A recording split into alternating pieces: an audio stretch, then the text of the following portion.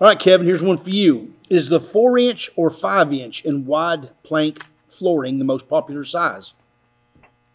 It's depending on the region.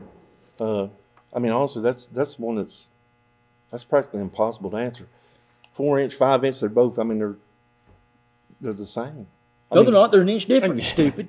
I mean, they're, they're literally the same. It, it really just depends on the region of where it's going. Or, Yeah. or What, two what and a quarter is more popular, or That's right. Yeah.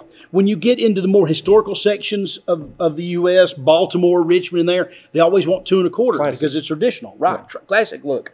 In your more rustic areas, they like wide plank. Now, that being said, there's not a lot of four inch made in the United States. Somerset's one of the few companies that actually makes a four inch. Most companies don't. They go from three and a quarter to five or three. or three. We can tell you the wider a solid wood plank is, the more likely it is to react to moisture changes, humidity changes in your house. Yes. So four is a little safer choice than five. So I'm, I'm telling you, if you if you're happy with a four, I'd buy it. Absolutely. That's usually a little Four bit less versus money. the five. four yeah, versus the, a five. the maintenance, the humidity, the everything. Yeah, it's Yeah, definitely a easier. little with fewer problems with it.